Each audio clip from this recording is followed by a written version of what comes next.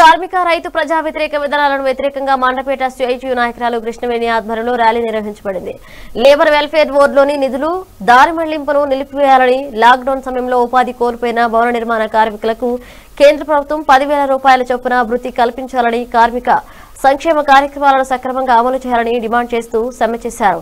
టాపీ మేస్త్రులు centring tiles rod bending బోర్లు concrete వడ్రంగి విద్యుత్ పెయింటింగ్ తదితర భవన నిర్మాణ కార్మికులందరూ సమ్మెలో పాల్గొన్నారు. చెప్పండి నినాదాలు చెప్పండి